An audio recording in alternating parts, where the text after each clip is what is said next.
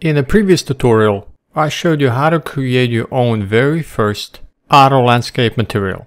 And before I knew how to create a proper one, I thought all you needed was a couple of textures so you can have that switch from the flat parts of the terrain that will automatically transition to an inclined part to the second texture. But I quickly realized that that wasn't enough. So in addition to automatically changing textures based on slope, based on angle, here are 9 things that every auto landscape material must be able to do. Number 1. It must assign a texture based on slope, based on angle. So the basis of any auto landscape material is the ability to automatically texture your terrain based on slope. Now this can be done in few different ways inside the material editor, but the most reliable way I found is to use the world align blend node. This material expression is the foundation of all auto landscape materials I create. And I covered this in the previous tutorial for how to get started with this world align blend node. Number 2. It must have 2 or 3 textures. Auto landscape material can have 2 or 3 textures that will automatically change on your terrain based on the slope. 2 texture auto material is the simplest and most effective one. And 3 texture auto material is a bit more involved First texture is used for the flat areas. Third texture is used for the angle slopes of the terrain. And the second texture is used to blend between the first and the third texture. So here in this example, I have two texture auto material. And in this example, I have three texture auto material. And the second texture is helping to blend between the first and the third. You could have more than three textures, but it doesn't add more functionality other than introducing another blend in between texture. So this becomes difficult to manage. So I would recommend that you stick with two or three texture auto landscape material setup, and this should be more than enough. Number three, must assign a texture based on height. So the world align blend node only works based on the slope, based on the angle of the terrain. If you want to assign automatic texture to the landscape based on height, you'll have to use absolute world position node and then combine it with the world align blend setup. This will allow you to have the texture switch based on the angle on the slope of the terrain and then you can add additional texture based on the height. And this works really well if you want to have, for example, snow to appear on top of the mountains at a certain height of your terrain. Now there are additional controls that you will need to add to make this height texture blend more naturally using a mask. Otherwise you'll have a solid line across the entire landscape at a certain height, which doesn't look good.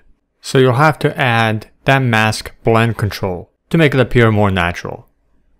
Number 4. Must have the ability to paint textures manually. Auto Landscape Materials by itself does a great job texturing your terrain automatically. But you can have more control if you add a manual painted texture layer. This will allow you to paint extra textures on top of your automatically generated ones for things like extra detail or roads and pathways. You do this by adding a landscape layer blend node and creating a landscape layer info into the existing auto landscape material. And it will allow you to paint any texture you want on top of your auto landscape material. Very important and handy feature. Number 5. Must have controls to blend between textures. Auto landscape material by default will have a soft blend between two textures. Or three textures. It will work most of the time, but if you want to control and have a hard edge blend like so, You'll have to set this up inside the material editor by adding edge intensity adjustment with a power node, then using a texture mask for more natural appearance. So this would give you to define how soft or how hard you want the blend to be between two textures. Number 6. And this is a big one. If you have an environment where foliage isn't required, auto landscape material will work as is. But for environments where you also need to spawn foliage at the same time, along with your auto landscape materials, then you need to add this functionality. This will allow you to spawn foliage on your terrain automatically without having to use the foliage tool or foliage volumes, unless of course you want to. So for example, you could spawn grass foliage and flowers on the grass texture. And when Auto Landscape Materials changes to dirt on the steeper slopes, it will automatically spawn rocks and dead grass, or whatever else you define. To do this, you have to implement and use the grass node. And the power of this is if you decide to sculpt your landscape, Auto Landscape Material will appropriate foliage and texture the terrain automatically. This is a very powerful technique, and this alone will save you a lot of time. Number 7. Must remove spawned foliage on manually painted layers. So there is a problem when you have foliage being spawned on the terrain automatically, and when painting texture layers manually, it will not remove the spawned foliage. And for this you must add the ability to have foliage removed as you manually paint texture layers by using the 1 minus node. It's a bit tricky to set up, but once you do, it's pretty easy to reuse across any auto landscape material. It is a very important feature to add if your auto landscape material has manually painted layers and automatically spawned foliage. Number 8. Must have the control to tile textures correctly near and far away. So this applies not only to auto landscape materials, but to any landscape material you create. Often the terrain textures look good near the player, but at a distance, the repetition becomes extremely noticeable. There are many tricks and techniques you can implement to reduce and eliminate this repetition. First, you need to set up to control tiling. Then you need to control tiling for different distances of the same texture. And this will greatly reduce the noticeable texture repetition that you always see. Number 9. Must have parameters set up to propagate into the material instance. You want to create auto landscape material once, and then reuse it over and over again for different projects on different landscapes.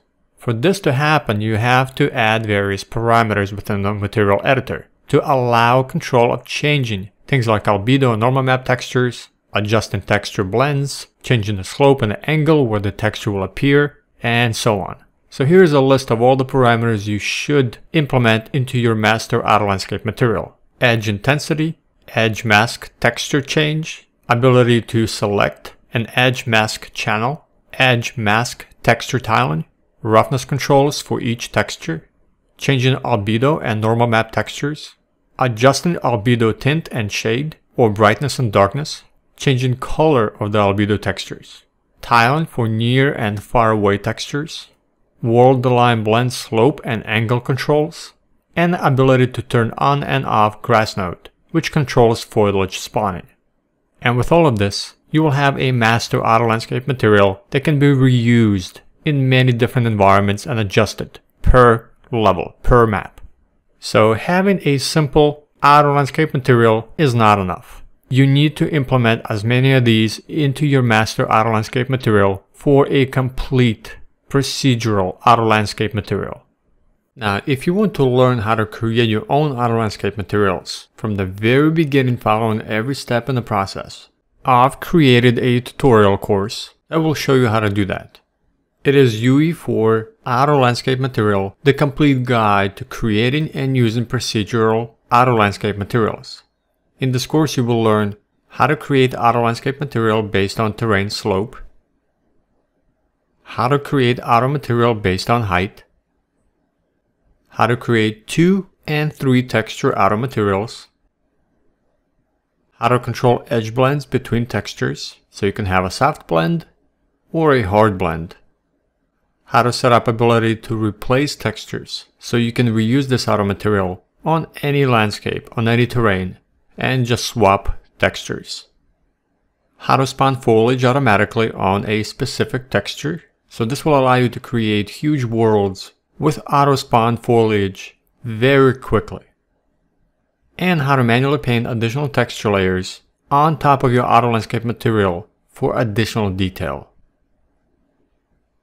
You can now download this complete course with all the example files and start texturing your landscapes quickly, effortlessly, and automatically. You'll find the link to download this course in the description box below this video or within the blog post.